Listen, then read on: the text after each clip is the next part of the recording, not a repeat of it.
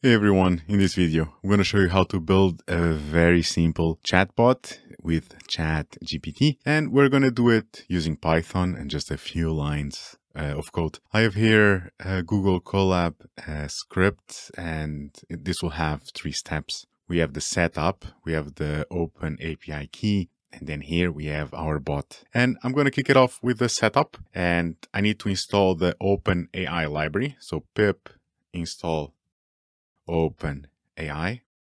And here you go. Let me do control enter. And then I'll also need to import the library. And while this is running, we have here the open uh, AI API key, which is hidden um, as this is uh, individual. And of course, each time that I use it, there is a tiny cost. So to avoid it going viral, at least my key, I'm going to leave it uh, here just for myself. Uh, then here, I'm going to import OpenAI. And let me do Control Enter. And then I'll kick it off here with my bot. And this is going to be a function. So I'm going to do define chat and then with and then GPT uh, 3. And then I open here parentheses and the input will be the prompt colon and then I start. I'm going to add some documentation uh, as well. So I'm going to do these uh, three quotes and then, then here I'm going to be sent a prompt to GPT uh, 3 a chat model and returns the generated response. And now that we have here the documentation, I'll kick it off. So generated response and let me add here three quotes as well. I need to focus here on the response. So this is the main thing. This has two steps. The first one is the response where we define the model, the message, and then we have the interaction. And this is the second part of this video. Response equals, and then open AI, and then dot chat uh, completion and then here dot create. Open parentheses and then here. First I need to start by defining the model. And for this one I'm going to use the GPT that's the 3.5 which is the turbo one the one that's uh, very very fast. And then here we go comma. And now here I want to focus on the messages. And there's two things here that I need to include as a list. So first, and so we open the list and then I start with the dictionary. So curly brackets, role, and then so role is a system. Here we go. And then comma, and then content here. And this is cute, but it says you are a helpful assistant. Here we go. And then uh, with a dot and then comma once more. Or better yet, this one, uh, this dictionary closes and I do a comma and then I start a new dictionary and then here. So role and this one needs to be inside quotes as well. So role colon and this one is user and then comma content and here this is the prompt that is then fed into the function. So this is the function and then over here we need to have some kind of uh, return.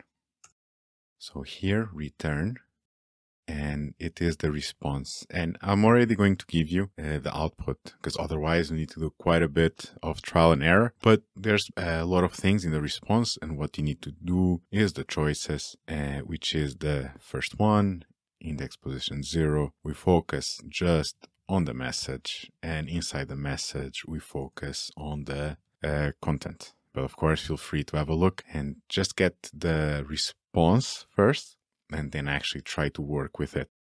Now that we have here the function, we need to focus on how to interact with the user. And this is where Python, because it's programming uh, that is oriented to objects, actually comes to work. So if double underscore name equals equals and then to the main again double underscore colon print and then here I print chat and then GPT uh, bot initialized initialized and then I continue.